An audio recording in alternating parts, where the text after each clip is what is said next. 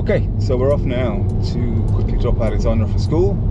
Alexander, say hi. Hello. Bit louder. Hello. And then we're going to go and see Mr. Shane Benzie down in Goring. Goring on Thames, a movement specialist for session number two.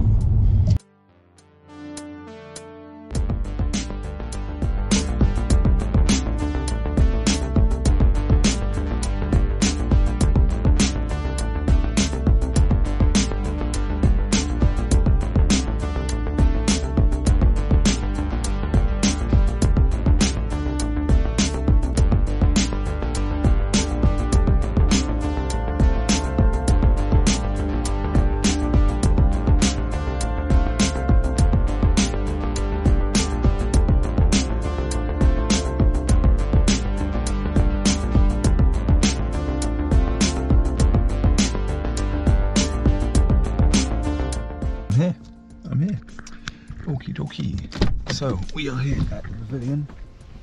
This is the old famous pavilion ground that Mr. Benzie does his work. You can uh, see it nicely. He's just with a client now, so yeah, here it is.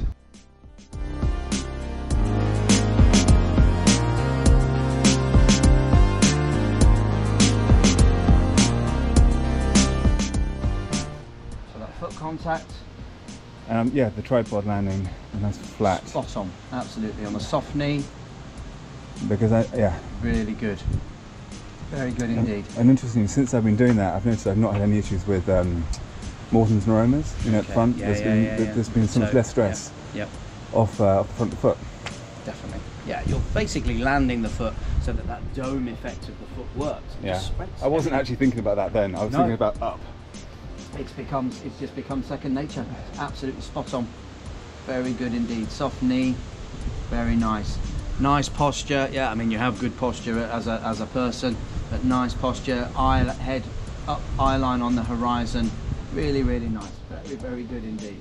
Textbook stuff. Now, as you soften, you're loading, loading, loading, loading, loading, and then you Soften the off hips. again. Yeah, you just so you don't have to think about it. Yeah. You're doing it perfectly. Because So- whenever I've seen that position, I always think that doesn't look quite right. That sort of drop in the hips, but I guess that's just It your is- body. Yeah. So you land, bang. Now Yeah. you've created the elastic energy. Now you drop as you load, load, load, load. It's almost like a spring load. You Yeah. Land, bang. Load, load, load, load, load, load, load, load, load, load, load, load.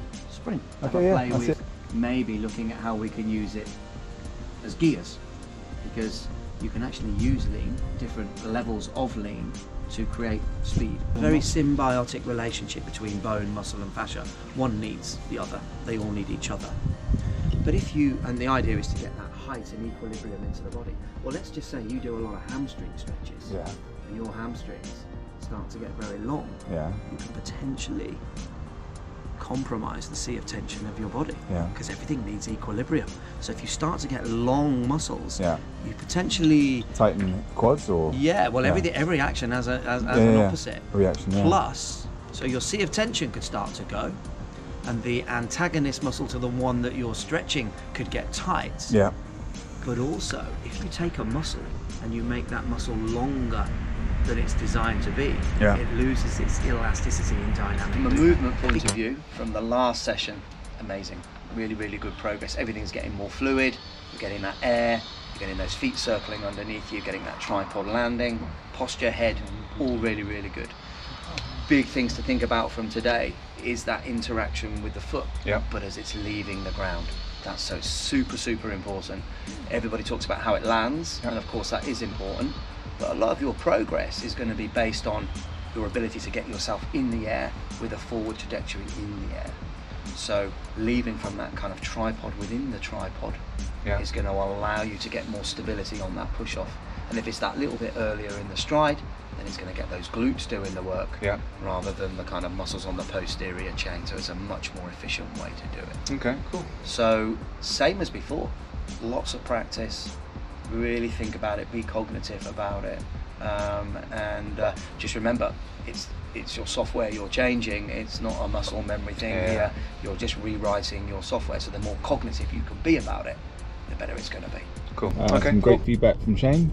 Um, looks like I've got to work on getting some more air, some more oscillation in my stride.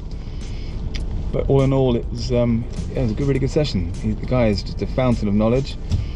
He's uh, yeah, he could chat for ages about training, running, obviously, um, and all the all the, uh, all the amazing people that he's seen and, and trained. It's uh, yeah, it's, uh, you stay there for a long time. But in all, all in all, to summarize, it's it's uh, pretty hard to change your to change your running gait, um, but it's about getting the the proprioception of your brain to think about where everything is, where your foot is landing, and how it's landing when you're coming off, and how um, and then obviously going right from the top, your head, keeping your head back, keeping a nice big bow in the chest,